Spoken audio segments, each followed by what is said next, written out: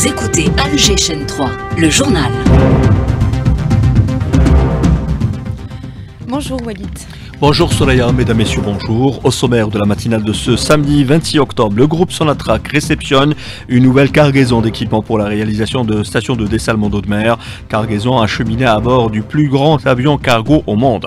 Au Proche-Orient, l'armée d'occupation sioniste mène des frappes sur des cibles militaires en Iran. L'Iran confirme cette attaque et affirme que les dégâts étaient limités. Les exactions sionistes qui se poursuivent, huit raids ont été menés en 24 heures au Liban. Une vaste opération dans la bande de Reza, également l'hôpital Kamala Adouane a été pris d'assaut, soulevant les condamnations de la communauté internationale. Au Maroc, le Front social toujours en ébullition. Les Marocains dénoncent la normalisation et la mainmise sur les médias, l'industrie cinématographique et la culture. Zoom ce matin également sur les nouveaux sites archéologiques découverts récemment en Algérie. Vous suivrez le reportage de Smaïl Mimoudi. Et puis sport football, le CS Constantine, vainqueur dans le derby de l'Est face à l'entente de Cible de buts à 1, rejoint provisoirement le Moudia d'Alger en tête de classement du championnat de Ligue 1, la sixième journée qui se poursuit ce samedi avec trois matchs au programme. Mesdames, Messieurs, bonjour. Mais avant de développer euh, euh, tous ces titres, rappelons que le président euh, du Venezuela, Nicolas Maduro, a effectué hier une escale technique à Alger. À son arrivée à l'aéroport international Houari Boumediene, le président vénézuélien a été accueilli par le premier ministre Nadil Arbawi. C'est ce qu'indiquait un communiqué des services du premier ministre. Le groupe Sonatrach a réceptionné hier une nouvelle cargaison d'équipements destinés à la réalisation de stations de dessalement d'eau de mer. Une nouvelle cargaison contenant 79 tonnes d'équipements à bord du plus grand avion cargo au monde, en concrétisation du programme du président de la République visant à renforcer la sécurité hydrique en Algérie. Je vous propose d'écouter Riyad Bouchemla, chargé de projet à Sonatrach. En concrétisation du programme du président de la République Abdelmajid Tebboune visant à renforcer la sécurité hydrique en Algérie à travers le dessalement de l'eau de mer au titre du programme national complémentaire pour la réalisation de cinq grandes stations de dessalement de l'eau de mer d'une capacité globale de 1,5 million mètres cubes jour, nous avons réceptionné via un pont aérien qui utilise le plus grand avion cargo commercial du monde une nouvelle cargaison contenant 79 d'équipements mobiles. Les efforts consentis et les mesures prises par le groupe Sonatrach reflètent son engagement avec toutes ses filiales pour la livraison des projets dans les délais fixés. Le taux d'avancement des projets des cinq stations dépasse les 80%.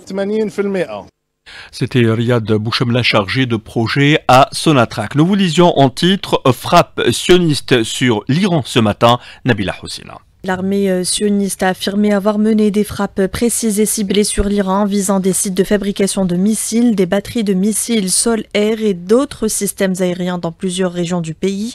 Jusqu'au bout dans sa logique belliqueuse, l'armée sioniste affirme que ces frappes sur l'Iran lui donnent une plus grande liberté d'action dans l'espace aérien iranien. Téhéran a confirmé l'activation du système de défense aérien contre l'opération du régime sioniste qui a attaqué trois sites en périphérie de Téhéran. L'attaque sioniste a provoqué des dégâts limités selon l'Iran. Téhéran qui a annoncé la suspension euh, jusqu'à nouvel ordre de tous les vols dans son espace aérien annonce la reprise des vols euh, prévus ce matin.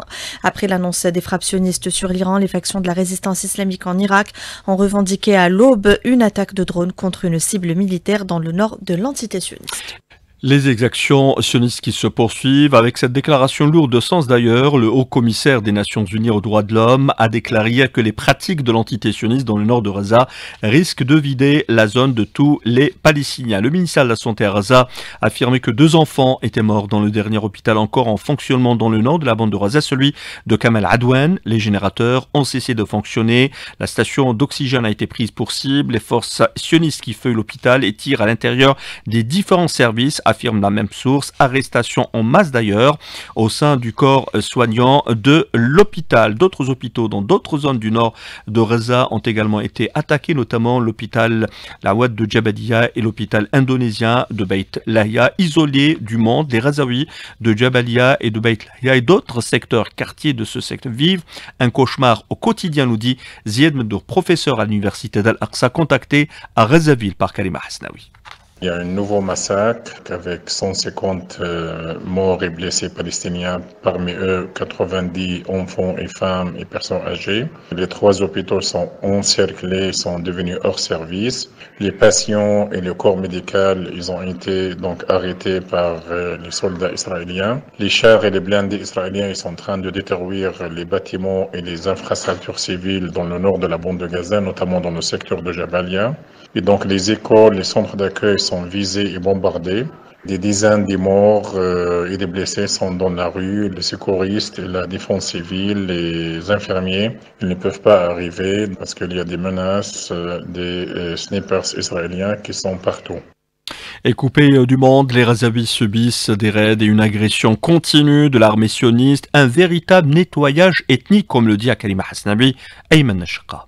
L'objectif, c'est de créer une zone vide des Palestiniens, euh, qui est le nord, tout le nord de Gaza, qui s'appelle un buffer zone ou un zone tombant, complètement vide des Palestiniens, comme un zone de sécurité. Annexer ça euh, aux colonies israéliennes, c'est juste euh, diminuer les surfaces de Gaza de plus en plus et coincer tous les Palestiniens de Gaza au centre et au nord de Gaza. C'est ça l'objectif.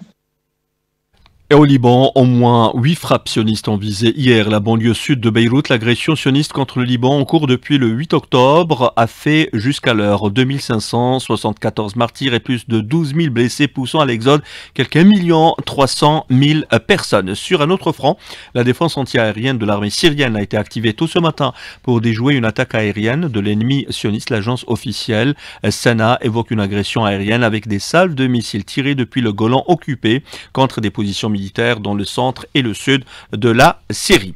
Un pays qui a opté pour la normalisation, le Maroc. La rue marocaine ne décolère pas. Manifestation anti-normalisation, condamnation de la même mise de l'entité sioniste sur les médias et le secteur de la culture, surtout après la diffusion par la chaîne marocaine de Zem d'une série télévisée mettant en scène une soldate de l'entité sioniste, ce qui a soulevé un tollé de protestations au sein de la population marocaine opposée à la normalisation avec cette entité et engagée en faveur de la cause palestinienne, de citoyens marocains. Nous protestons contre le feuilleton diffusé par cette chaîne et qui met en avant une soldate sioniste qui était engagée au sein de l'armée sioniste et a tué des enfants du peuple palestinien. Elle a cautionné les crimes génocidaires commis contre le peuple palestinien. Nous considérons que maintenir cette série par cette chaîne signifie persister à participer aux crimes contre le peuple palestinien. Cette chaîne soutient la normalisation avec l'entité sioniste et travaille au profit de cette entité. Nous, en tant que militants anti-normalisation, sommes venus dénoncer les pratiques de cette chaîne qui appuie l'entité sioniste. Et puis dans le dossier Sahraoui, l'Observatoire euh, universitaire international du Sahara occidental exhorte le président français Emmanuel Macron à reconsidérer sa position sur la question du Sahara occidental, jugeant essentiel que la France aligne sa position avec les arrêts de la Cour de justice de l'Union européenne qui a confirmé une nouvelle fois le statut séparé et distinct dont dispose ce territoire par rapport à celui euh, du euh, Maroc. Retour chez nous, le président de l'Assemblée populaire nationale, Brahim Bourali, a achevé sa visite officielle en Corée du Sud effectué à l'invitation de son homologue sud-coréen au troisième et dernier jour de sa visite. Brahim Bourali a notamment visité les groupes Hyundai et LG ainsi que le musée national de la Corée. Brahim Bourali qui a rencontré également euh, au cours de son séjour euh, des propriétaires de start-up algériennes participant à une euh, session de formation à Séoul, hommage de sa visite dans ce pays. Regroupant 19 jeunes entrepreneurs, cette rencontre s'est déroulée en présence de l'ambassadeur d'Algérie en Corée du Sud et de la délégation parlementaire accompagnant Brahim Bourali, qui a permis de découvrir la composition institutionnelle diversifiée, la délégation, ainsi que la spécialité de chaque entreprise en sus des objectifs du programme de formation et des mécanismes d'encadrement. À cette occasion, le président de la PN indiquait que le programme des startups et de l'économie de la connaissance, devenu une réalité, repose sur une volonté politique claire du président de la République. Le mois rose, le mois d'octobre, on en parle ce matin, un mois dédié, vous le savez, à la campagne de sensibilisation contre le cancer euh, du sein tire à sa fin. À Sidi Abbas, toute une campagne a été menée en ce sens, mais parallèlement, il y a eu également cette campagne en direction des patients qui souffrent du cancer de la prostate, le plus répandu chez les hommes, vous le savez. Inès Mohamed est notre correspondante permanente sur place. Le mois d'octobre est habituellement consacré au dépistage du cancer du sein, mais cette fois, le service d'urologie du CHU Dr Abdelkader Hassani de Sidi Blabès a initié une campagne de dépistage du cancer de la prostate. Ce cancer le plus répandu chez les hommes affecte davantage les sujets âgés, parfois même les sujets jeunes, et ceux qui ont des antécédents familiaux du cancer du sein, explique Dr Chalef. Sidi Mohamed Amin, médecin chef du service d'urologie du CHU. Et il y a des études scientifiques qui ont prouvé qu'il y a une liaison sur le plan génétique entre le cancer du sein et le cancer de la prostate. Donc il y a d'hommes qui ont des antécédents familiaux de cancer du sein ou de l'ovaire dans la famille, ils peuvent être exposés donc à développer un cancer de la prostate. Le dépistage il consiste en un interrogatoire, on va faire un interrogatoire avec des sujets. Donc par la suite on va faire un examen clinique pour examiner la prostate parce qu'on appelle le toucher rectal. Et le troisième élément, c'est un dosage biologique, c'est un dosage à partir d'un prélèvement sanguin dans lequel on va doser le taux de PSA pour rechercher s'il y a une anomalie sur le plan biologique. Se faire dépister est nécessaire, témoigne l'un des patients rencontrés au service d'urologie. Cette campagne de dépistage est une bonne chose. Moi, personnellement, j'ai été touché par le cancer de la prostate. J'ai traité et je vais beaucoup mieux maintenant. Je conseille ceux qui sont âgés de 45 ans et 40 ans de venir se faire dépister. Les médecins conseillent les sujets âgés de plus de 40 ans de se faire dépister puisque l'incidence du cancer de la prostate augmente avec l'âge. De Sidi Blabès, Inès Mohamed pour Aléchen 3. Et nous vous disions en titre, les nouveaux sites archéologiques découverts récemment en Algérie sont une autre preuve que l'Afrique du Nord est bel et bien le berceau de l'humanité. Les recherches archéologiques qui se poursuivent encore sur les sites de Ain el-Hnesh, Ain Bouchit à Sitif et celui de Ternif à Mascara, chapeauté par Mohamed Sahnoun, professeur associé au Centre national de recherche préhistorique, anthropologique et historique, ont démontré à la communauté scientifique universelle l'énorme potentiel archéologique algérien. C'est le reportage de Smaïl Mimouni.